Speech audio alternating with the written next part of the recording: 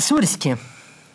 Mes kaip politikos analitikai turim apžvelgti tragišką situaciją su ekonomikos analitikais. Tai gal tragiška situacija su ekonomika? Nu kaip, situacija su ekonomika yra tragiška, nu, bet jis stabiliai tragiška. O su ekonomikos analitikais, nu tai čia krizių krizė baisiau už didžiąją depresiją. Nu, kas nutiko? Nu, Jankeliūnas pasitraukė pats socdėmus dėl gardesnio valgio šaukšto ir trupinio aukso. Dėl trupinio aukso ir gardesnio valgio šaukšto. Citokit kudirką apropriatliai. Toliau. Kuodis buvo paaukštintas pareigose, taip sakant, užkimšta burna, kad neužsimtų analizę.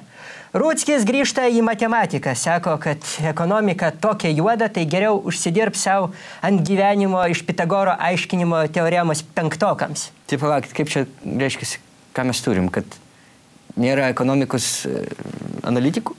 Liko paskutinis, kaip toj pasako iš stiklo pilies, Gitanas Nausėdas. Ava ką darysim, kai vat jis išeis?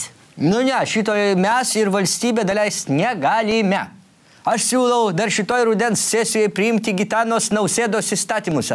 Vienam žmogui? Nu tai dėl Paksiaus trys priėmėm įstatymus.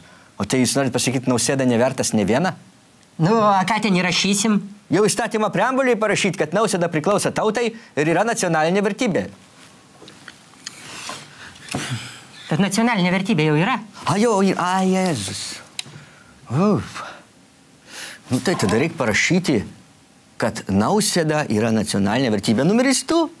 Ir kad jis jokiais būdais negali keisti savo veiklos profilio ir ten visko be tautos referendumo.